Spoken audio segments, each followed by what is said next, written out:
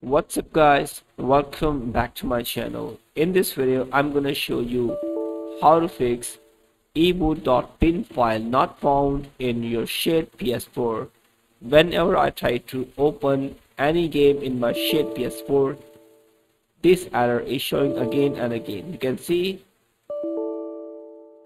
So in this video we will talk about the error for shadPS4 as you can see guys I have uh, two version of shadPS4 and uh, I try to open it.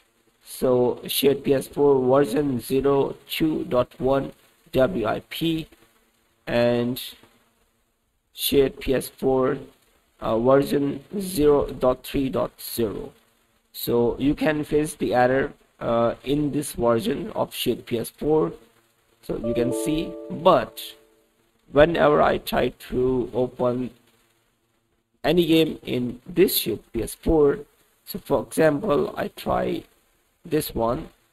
So you can see I'm facing black screen with Vulkan error so what is this error in this video I will tell you and I will show you uh, about the error how to fix it I close it.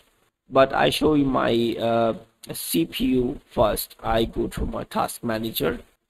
Task manager go to task manager and go to performance.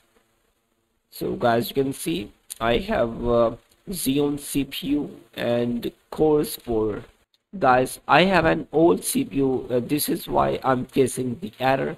Guys if you have an old CPU uh, then uh, you can't fix this error.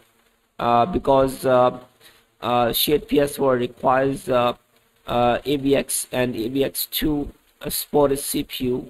For example, I go to my Xenia. So this is my Xenia emulator. I open it. So you can see Xenia error. Your CPU does not support AVX. So my CPU does not support AVX. This is why I will face the error for my shadPS4 so to fix the error you need to upgrade your CPU if you have an old CPU then you cannot fix the error without AVX supported CPU so this is the only way to fix the error for shadPS4 and I hope this tutorial will be helpful for you guys. If you like it then please subscribe the channel. And thanks for watching